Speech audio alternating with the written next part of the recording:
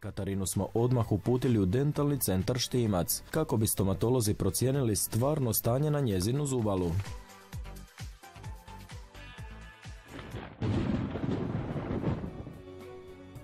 U njenoj usnoj šupljini e, je veliki, veliki gubitak zubi, gornje čeljusti i možda 80% e, gubitka zubi u donjoj čeljusti. Naš čeka jedan veliki posao. Taj posao neće sigurno trajati tjedan dana i ti si gotova. To će trajati tjednima. Da li ćemo staviti implantate, da li ćemo vezati sa mostovima, e, krunicama, kojim tehnikama, to doista sad ne mogu reći ali sigurna sam da se sve može riješiti prekrasno.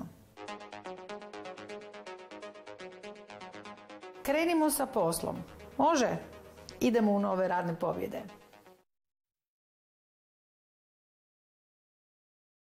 Nastavili smo s preobrazbom 20-godišnje Katarine Matić iz Obrezine.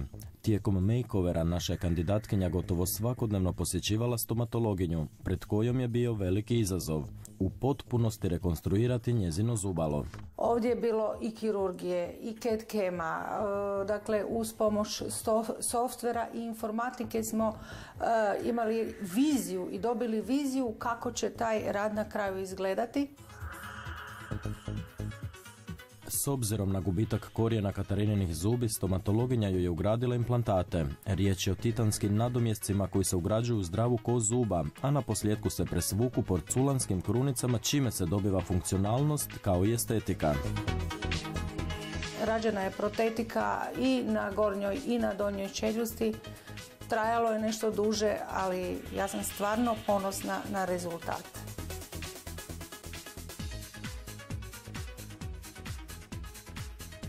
To je sad nešto što stvarno gledaš svaki dan i prekrasno je.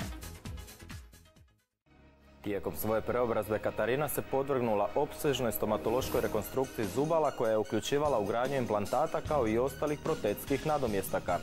Za neproporcionalan nos i korekciju podočnjaka pobrinuo se dr. Bagatin, a na posljedku smo je u potpunosti promijenili styling.